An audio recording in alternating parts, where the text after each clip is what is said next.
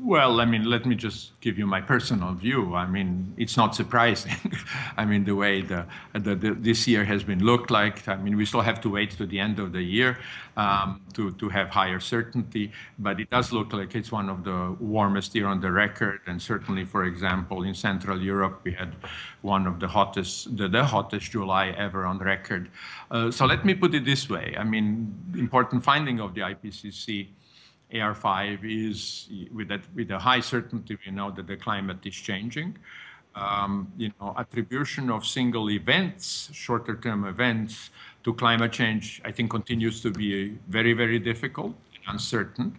But the other way around, we have quite lots of certainty. As the climate as the climate changes on average, we can also expect to be hitting lots of lots of records on the upper end of the scale uh, in the coming decades. So for that, I think there is quite a quite a high certainty. And the problem is that many of those events might be very extreme.